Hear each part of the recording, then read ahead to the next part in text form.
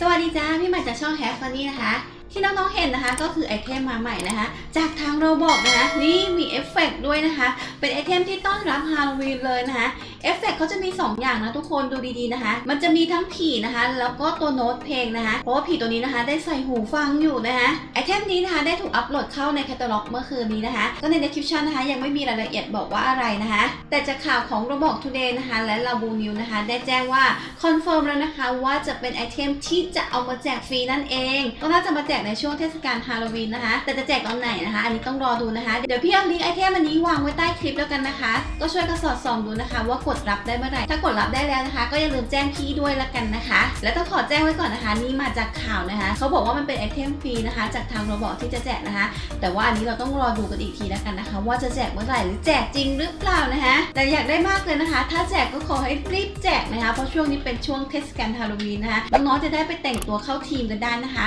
อย่าลืมกดไลค์ให้พี่ด้วยนะคะ คลิปนี้ก็ไปแล้วจ้า